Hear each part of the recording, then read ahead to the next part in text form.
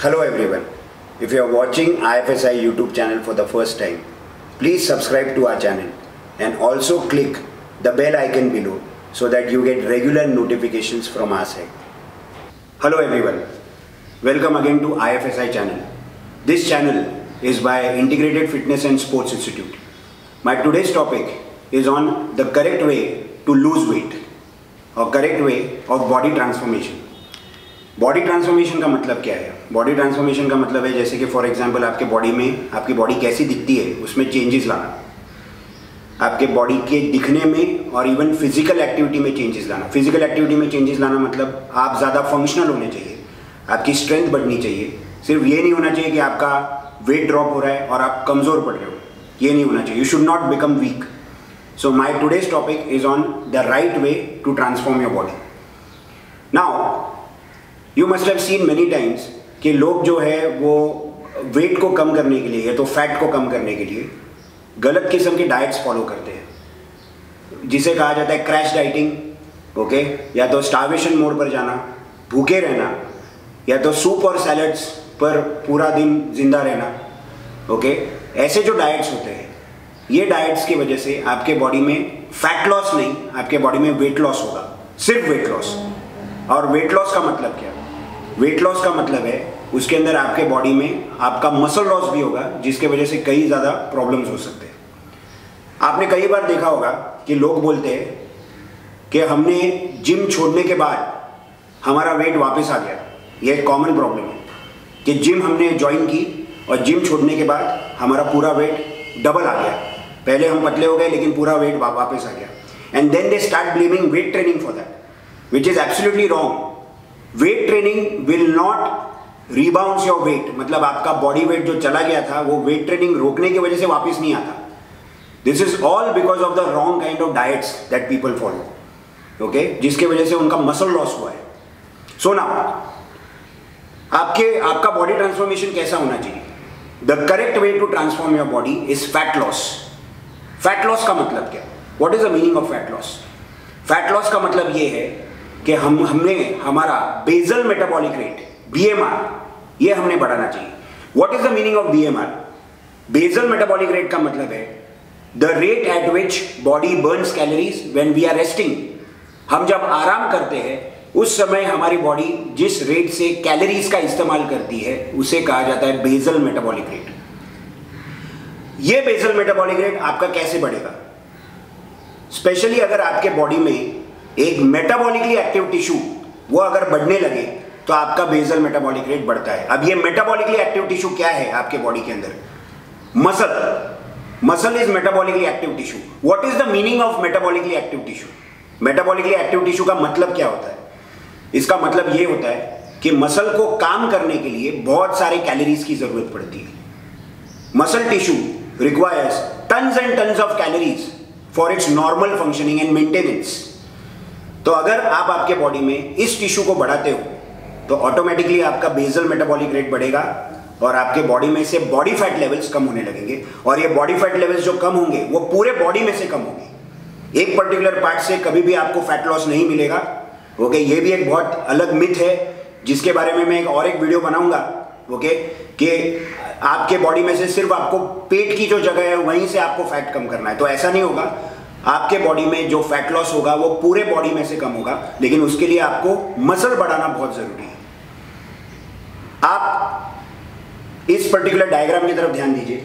यहाँ पर मैंने बताया है करेक्ट बॉडी ट्रांसफॉर्मेशन जिसमें मैंने बॉडी शेप्स बताए ये वाली जो बॉडी शेप है, जिसको मैंने ऐसे राउंड बनाया है, ये राउंड वाला जो बॉडी शेप है that is known as endomorph technically उसे कहा जाता है एंडोमॉर्फ वो एक साइंटिफिक टर्म है।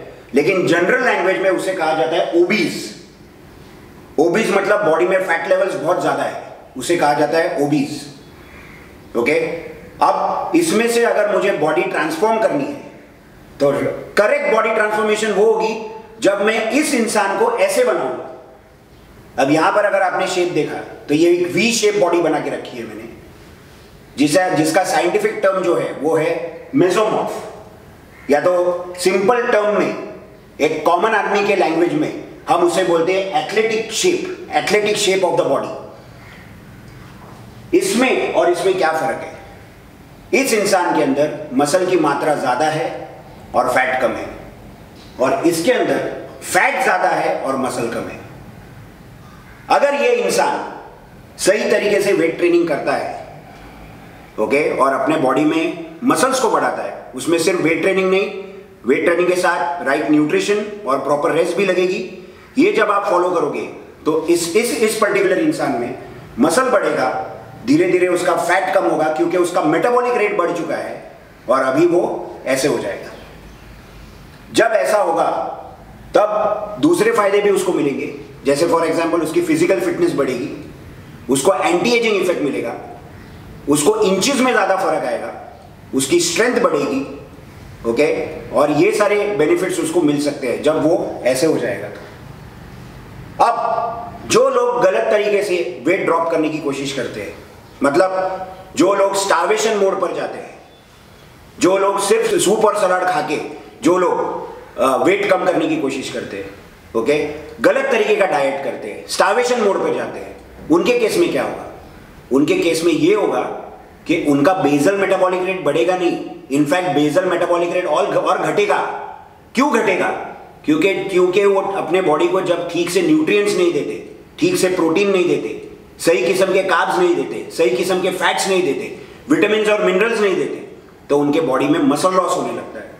और जब मसल लॉस होगा तो उनका बेजल मेटाबॉलिक रेट ड्रॉप होने लगता है। बीएमआर के ऊपर बहुत गलत असर पड़ता है, वो ड्रॉप होने लगता है। और उनके बॉडी में, उनके बॉडी में मसल लॉस होता है। ओके और उनकी कंडीशन कैसी होती है? क्या होने लगता है उनके बॉडी में? जो लोग वेट लॉस करते हैं ड्रास्टिक वेट लॉस करते हैं, उनके बॉडी में आपको कौन से साइंस एंड सिग्नल्स नज़र आएँगे? सबसे पहला सिग्नल उनके फेस का जो चाम है, वो चाम चला जाता है। सेकेंड हेयर लॉस होने लगता है मसल लॉस होने लगता है सैगिंग ऑफ़ स्किन होने लगती है, उनकी स्ट्रेंथ कम होने लगती है उनका सर दर्द होता है, उन्हें डिजीनेस आता है, उन्हें चक्कर चक्कर आने के आसार नज़र आते हैं। ये सारे प्रॉब्लम्स उनको नज़र आते हैं। और इतना ही नहीं, उनके बॉडी का शेप जो है, वो ऐसा नहीं होता, उनका बॉडी का शेप ऐसा हो जाता है।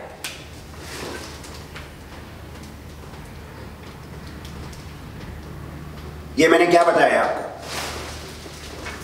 ये जो एंडोमोर था, सिर्फ़ उसकी साइज़ कम हो गई है। और सिर्फ़ साइज़ में छोटा हो गया है। उसके बॉडी में कोई ट्रांसफॉर्मेशन नहीं हुआ। उसकी बॉडी जो है वो ट्रांसफॉर्म नहीं हुई है।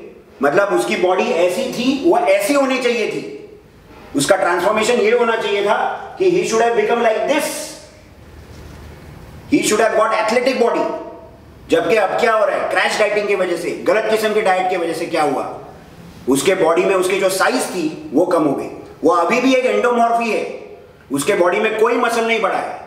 इनफैक्ट उसकी बॉडी श्रिंक हो गई और वो ऐसे हो ये हो गया। तो हमको ये नहीं करना है। This is something that we need to avoid correct body transformation is something where a person has this kind of body shape and then he gets converted into this kind of body shape and the same happens for ladies also तो ladies में भी याद रखना। कोई अलग उसके लिए कोई अलग उपाय नहीं है फैट कम करने के लिए। लेडीज़ के अंदर भी आपको मसल गेन करना पड़ेगा। ये बात अलग है कि लेडीज़ के जो मसल्स है, वो मर्दों की तरह बड़े नहीं होते। ओके? क्योंकि उनके जो हॉर्मोन्स है, वो हॉर्मोन्स मसल बिल्डिंग सपोर्ट नहीं करते। But if a lady does weight training and if she gains muscle first of all it is not at all visible on the body but she looks very lean she loses in inches उनके waist line के ऊपर से fat कम होगा। She becomes stronger उनकी functionality बढ़ेगी, उनकी physical fitness बढ़ेगी, उनको एंटी एजिंग इफ़ेक्ट मिलेगा। ये सारे फ़ायदे उनको मिलेंगे, अगर वो सही तरीके से बॉडी ट्रांसफॉर्मेशन करेंगे तो।